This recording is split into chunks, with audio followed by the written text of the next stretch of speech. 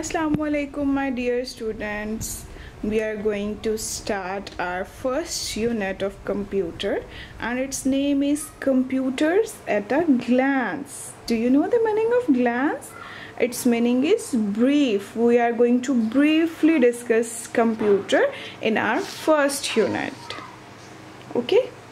Let's start reading of our unit A computer is an electronic device. Electronic de electronic means the device that works with the help of electricity which can do fast and accurate calculations. Accurate means correct without mistakes. Calculations and many other tasks. Any computer essentially performs three basic functions. These are input, processing and output. From input processing is done and in the form of result we get our output. If I give you a question like 2 plus 2 is equal to 4 plus 4 is equal to 3 multiplied by 3 is equal to all of you think about the answer? Yes, if you think that 2 plus 2 is equal to 4. It's a brainstorming question I gave you. The question that I gave you is the form of input. And in your brain that you think, what will, what will be the answer of 2 plus 2? This will be the processing and the result the answer that you gave that 2 plus 2 is equal to 4 it's the output it's the result. In your brain you done the processing. Your brain is a processing device right? Like this cpu is the processing device of computer. Okay these functions are performed by different parts and helping devices of computer.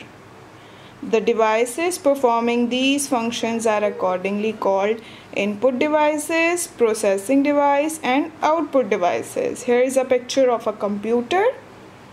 You see it's a monitor, it's a keyboard, it's a mouse and it's a CPU. Keyboard and mouse are the input devices. If I show you on my laptop, it's a keyboard and it's a touchpad. These two are the input devices. And CPU is the processing device. This monitor is the output device. Here on laptop, this screen is the output device on our next page page number 6 input devices. The input function of a computer includes accepting the data and instructions from the user. Data is the raw information about facts and figures.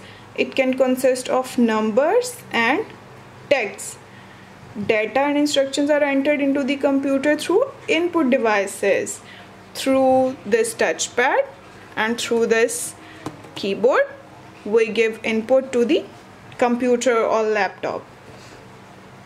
Keyboard and mouse are the most common input devices. A keyboard is used to provide input by typing letters and numbers. If i show you on my laptop these are the letters that you see a s d f g h these are the letters.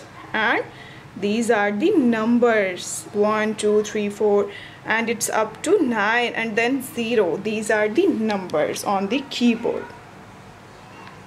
A mouse is used to provide input by selecting a particular item on the screen. The selection is done by pointing to the desired item and clicking the mouse button. It's a picture of mouse. Here are the two buttons. If I show you on laptop here is also it is also a button on the left and right side it's clickable and it's also a touchable Some other example of input devices are joystick, trackball, scanner, etc. Joystick. Joystick is used in video games and it is a control device. Here is a trackball. Trackball is also used in place of a mouse. It is an alternative form of mouse. It, uh, it takes very less space and it has a ball at the top. In mouse ball is at the bottom. Here is the picture of scanner. Scanner takes an image of any printed or handwritten page as an input. We scan scan any page in it. It takes the input and then it gives us output processing device. The data entered is processed by the processing device. Like i gave you a question 2 plus 2 i gave you a data and you process it into your mind into your brain. According to the instruction given by the user we are the users. The processing device in a computer is called the central processing unit.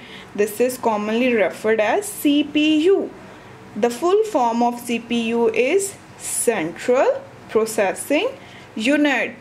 Dear students, you have to learn this full form. CPU or Central Processing Unit does all the calculations. Calculations are the addition, subtraction, multiplication and processing. It also controls the operations of the other parts and devices in a computer system. Therefore, it is said to be the brain of the computer. CPU has three main parts. First, we learned that computer has three functions input processing output now cpu has three main parts arithmetic logic unit.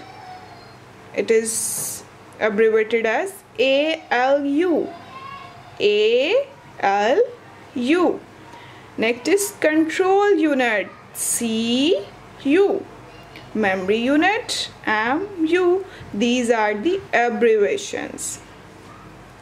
Here is the picture of complete function of a computer you have to draw this picture on your rough register and you have to learn these three main parts of the CPU also.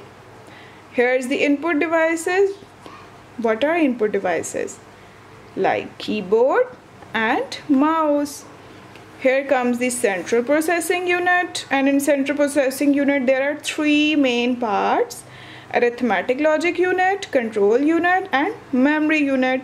From this central processing unit we get our output unit and output devices like monitor or any screen.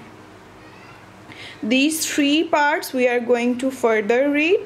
Arithmetic logic unit ALU performs all the arithmetic operations like addition, subtraction, multiplication and division.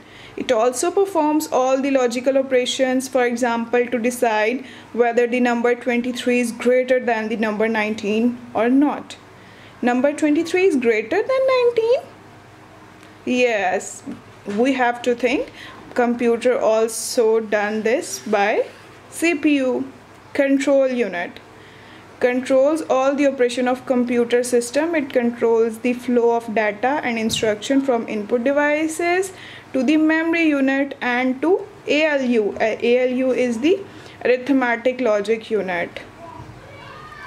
It also controls the flow of processed information that is result from ALU to memory and to the output devices